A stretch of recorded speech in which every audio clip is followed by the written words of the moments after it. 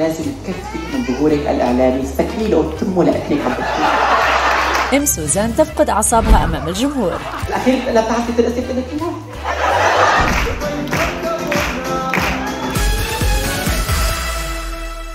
ET بالعربي موجود بأول عرض كوميدي لعمر مسكون. أنا أجيت قبل بساعة تقريبا لحتى أشوف كيف تحضيراته وكيف معنوياته. يلا تعالوا.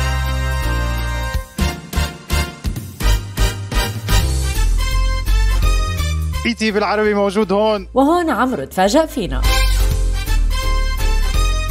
أول عرض مسرحي لك كيف المعنويات؟ معنوياتك عالية كتير لحتى يطلع عرض بجنن. العرض تأخر نص ساعة بسبب زحمة الناس لتدخل على القاعة. فالتذاكر كانت sold out قبل خمس أيام. الحديث هلأ فعلا عم بدق لي please بقى بدنا ticket بس actually لأنه هو ما بيلحق عنده كتير shows بعد يصورهم برا.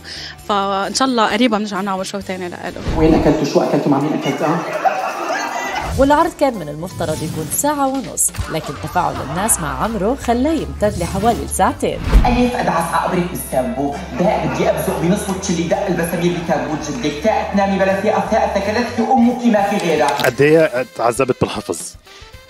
نعرف عبود كتير بكي هي موجود. تعال ليش واقف؟ قرب. قد إيه عذبك بالحفظ؟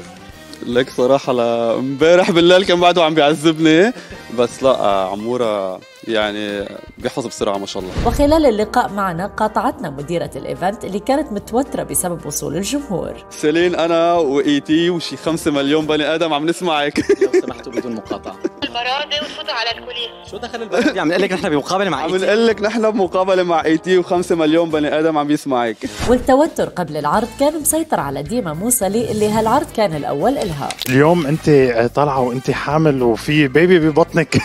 قد إيه هذا الشيء عامل لك double stress صراحة. على المسرح. أنا إن شاء الله يكون في دكتور على بالحضور. صراحة مرعوبة مرعوبة كثير لأنه أنا أول مرة بطلع على ال stage وأنت بتعرف ويعني ما بعرف قد الناس بيعرفوا بس أصلا الموضوع جديد بالنسبة لي لعمر أنت معنا معلش. معلش ما في حدا غريب.